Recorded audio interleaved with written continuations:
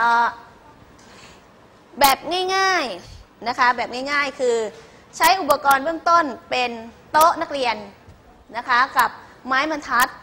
แล้วก็เหรียญสองเหรียญที่มีขนาดเท่ากัน เพราะฉะนั้นนักเรียนก็ขอถ้าใครไม่มีก็ยืมเพื่อนมา ยืมแล้วคืนด้วยนะคะ เราใช้เหรียญสองเหรียญที่มีขนาดเท่ากันคือเหรียญบาทเหมือนกันเหรียญห้าเหมือนกันเหรียญสิบเหมือนกัน ก็เป็นการควบคุมตัวแปรในเรื่องของมวลและขนาดของเหรียญนะคะ อาจจะใช้เหรียญบาทก็ได้ เหรียญห้าก็ได้นะคะ เหรียญสิบอาจจะหนักไปนิดนึงนะ แต่ก็สังเกตได้ง่ายถ้าเรานั่นพอนะคะ อะทีนี้มาดูวิธีการทำกิจกรรมของเรานิดนึงนะคะ เรากำลังศึกษาการเคลื่อนที่แบบโปรเจกไทของเหรียญนะของเหรียญ อันนี้ก็จะเป็นจุดประสงค์ของการทดลอง อย่าลืมว่าเวลาที่เราทำกิจกรรมใด ๆ ก็ตามนักเรียนจะต้องมี ชื่อกิจกรรม จุดประสงค์การทำกิจกรรมนะคะ แล้วก็ตั้งสมมุติฐานก่อนที่จะเขียนผลการทดลองก่อนลงมือทำนะคะ ในเบื้องต้นครูจะให้นักเรียนได้ดูวิธีการทำการทดลองและอุปกรณ์ก็คือ เราจะใช้อุปกรณ์ 3 ชนิดหลักๆนะคะดูนะ ก็จะมีโต๊ะเรียน โต๊ะเรียนของนักเรียนนี่แหละนะคะ แล้วก็มีไม้บรรทัด ไม้บรรทัดนี่แล้วแต่ว่าที่เราใช้เป็นยังไง แต่ถ้าเกิดว่าเป็นอันเล็กๆ บางๆ ก็อาจจะใช้เหรียญที่เบาลงหน่อยนะคะ ก็ได้เหมือนกันแต่ใช้เหรียญให้เบาลงหน่อยนะคะ แล้วก็มีเหรียญที่มีขนาดเท่ากัน 2 เหรียญนะวิธีการทำการทดลองก็คือ เราจะให้ไม้บรรทัดเนี่ยอยู่ในตำแหน่งที่เป็นขอบโต๊ะ แล้วก็ให้นักเรียนเนี่ยนะคะเออเดี๋ยวนะ เอาเหรียญวางที่ปลายไม้บรรทัดหนึ่งเหรียญปลายไม้บรรทัดหนึ่งเหรียญนะคะ แล้วก็ปลายวางที่ขอบโต๊ะหนึ่งเหรียญเห็นไหมคะปลายไม้บรรทัดหนึ่งเหรียญแล้วก็ขอบโต๊ะหนึ่งเหรียญนั้นเราก็จะมีเหรียญที่อยู่ระดับใกล้เคียงกัน ถ้านักเรียนใช้ไม้บรรทัดที่บางนิดนึงก็ก็จะได้ระดับที่ต่างกันเล็กน้อยเท่านั้นนะคะ แล้วก็ให้นักเรียนเคาะปลายอีกด้านหนึ่งของไม้บรรทัดเห็นไหมคะเคาะปลายของด้านอีกด้านหนึ่งของไม้บรรทัดนักเรียนอาจจะใช้มุมด้านที่ให้ให้เหรียญมันโค้งไปง่าย ๆนะคะ เพื่อที่ให้เกิดอะไรขึ้นหนึ่งก็คือขณะที่เราเคาะปลายนักเรียนอาจจะใช้ไม้บรรทัดหรืออะไรก็ได้เคาะนะคะเคาะที่ค่อนข้างแรงและเร็วนิดหนึ่งแล้วให้นักเรียนสังเกตการเคลื่อนที่ของเหรียญทั้งสองเหรียญนี้ ให้สังเกตการเคลื่อนที่ของเหรียญทั้งสองเหรียญนี้ คือเหรียญที่อยู่บน ไม้บรรทัด กับเหรียญที่อยู่ขอบโต๊ะ สังเกตการเคลื่อนที่เป็นกิจกรรมที่หนึ่งนะ แล้วระบุลงไปว่าเหรียญที่อยู่บนไม้บรรทัด เป็นเหรียญที่หนึ่งเนี่ยเคลื่อนที่ยังไง เหรียญที่อยู่ขอบโต๊ะมีการเคลื่อนที่อย่างไร อันที่สองคือให้ดูว่าเหรียญทั้งสองนี้ มันเคลื่อนที่เหมือนหรือต่างกันยังไงแล้วเนี่ยมันตกถึงพื้นพร้อมกันหรือไม่ มีแค่นี้ สิ่งที่เราสังเกตมีแค่สองอย่างคือเคลื่อนที่เหมือนกันไหมกับในที่สองคือตกถึงพื้นพร้อมกันไหม นักเรียนคิดว่าสองเหรียญนี้เคลื่อนที่เหมือนหรือต่างกันอย่างไร และตกพร้อมกันหรือไม่ตั้งสมมติฐาน ให้เวลาปรึกษากัน 15 วินาที เดี๋ยวขอตัวแทนกลุ่ม สมมติฐานพูดเป็นไหมคะทำอะไร แล้วจะเกิดอะไรขึ้น ย่ามีคำที่บ่งชี้ถึงความลังเลอยู่ในนั้น เช่น น่าจะอาจจะไม่เอานะคะแค่นี้แก้กิจกรรมเราง่ายๆเนี่ยแค่เคาะเนี่ยแหละนะคะนะแค่นักเรียนเคาะแต่ครูจะยังไม่เคาะเพราะเดี๋ยวนักเรียนเห็นผลก่อน นักเรียนแค่เคาะนักเรียนดูว่าพอเคาะไปแล้วเนี่ยไอเหรียญนี้กับเหรียญข้างบนนี้จะเคลื่อนที่เหมือนหรือต่างกัน ก็ระบุไปเลยนะคะ ถ้าคิดว่าเคลื่อนที่เหมือนกันคือ ตกลงพื้น ดิ่งลงตกพื้นเหมือนกัน ก็ตอบอย่างนี้เหมือนกัน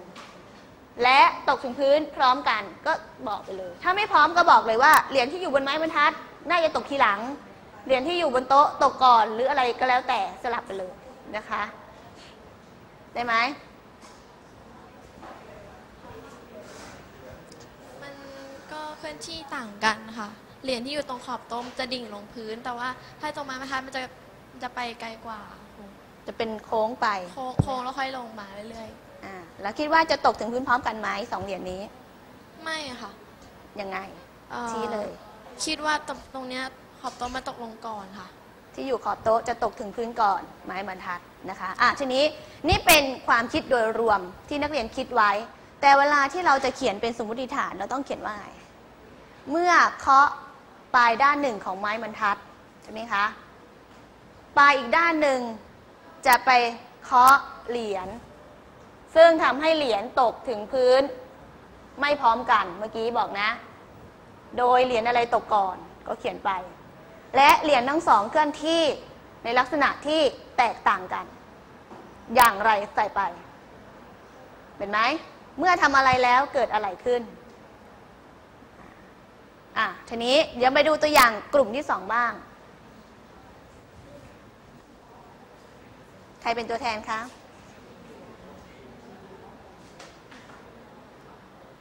เชิญเชิญ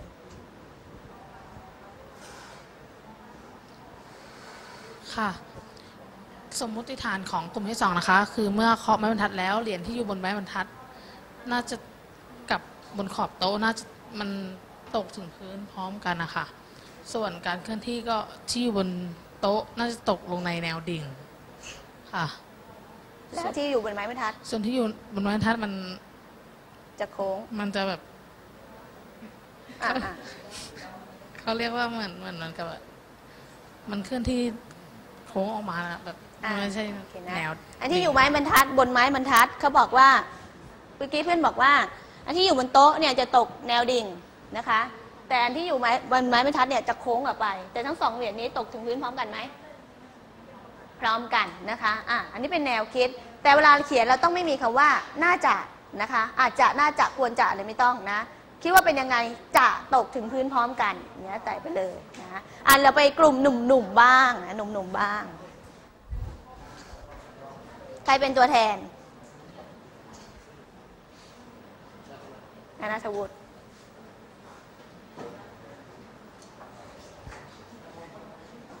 สะกิดใจ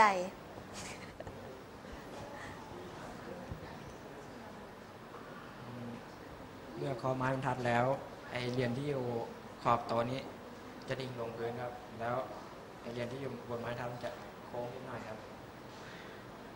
ถ้าตกตกถึงพื้นพร้อมกันไหมคิดว่าไม่พร้อมครับ ไม่พร้อมกัน แต่การเคลื่อนที่นี่เหมือนกันครับแบบโปรเจกต์ไทยครับเป็นการเคลื่อนที่เหมือนกันครับอ่านะคะอะโอเค อันนี้ก็จะต่างจากกลุ่มที่ 2 คือการเคลื่อนที่เนี่ยเป็นแบบโปรเจกต์ไทแต่ว่า ตกถึงพื้นคิดว่าไม่พร้อมกัน กลุ่มที่ 2 บอกตกถึงพื้นพร้อมกันนะแล้วก็ลักษณะของการเคลื่อนที่ก็ต่างกันด้วยโอเคนะคะอยากให้ในเวลานักเรียนทำกิจกรรมนี้ไม่เกิน 10 นาที แล้วก็ดูผลการทดลองว่าเป็นอย่างไร คนอื่นดูนะคะ ดูแนวการเคลื่อนที่ดูแนวการเคลื่อนที่ของสองเหรียญ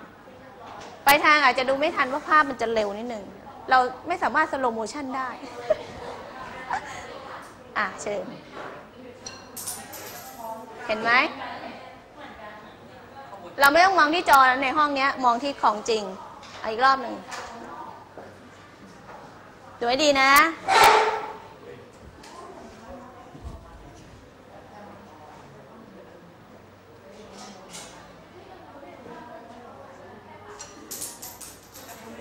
แนวการเคลื่อนที่เหมือนกันไหมคะ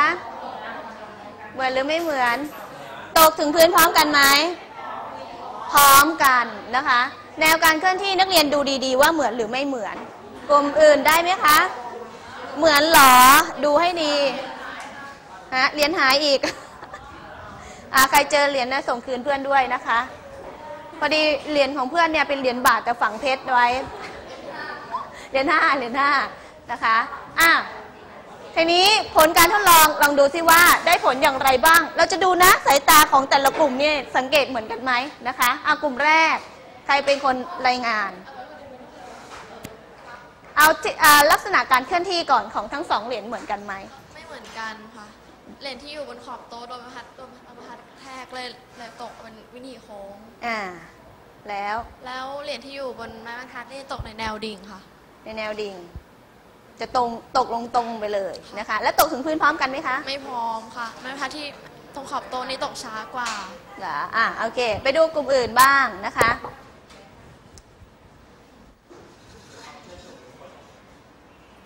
เมื่อกี้เราดูทางนี้จะเห็นพร้อมกลุ่มเนี้ยนะคะ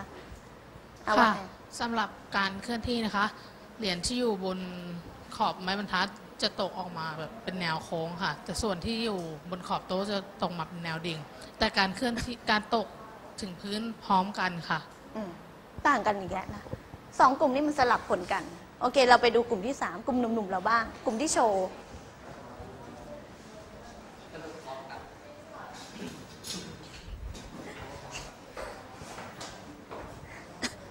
ครับ การตกนะครับคือ เหรียญที่อยู่มาบนไม้บรรทัดนี่จะตกในแนวดิ่งครับ แล้วก็ที่อยู่ขอบโต๊ะก็ตกแนวดิ่งเหมือนกันครับ ตกพร้อมกันครับครูไม่เห็นจะดิ่งเลยเมื่อกี้เนะ มันฟาดไปดิ่งยังไงตรงไหนครับอันที่อยู่ขอบตัวดิ่งครับ ดิ่ง อะอะนักเรียนสรุปว่านั่นคือแนวดิ่งใช่ไหมอ่าโอเค แล้วตกถึงพื้นพร้อมกันไหมคะ กันครับ พร้อมกันนะคะ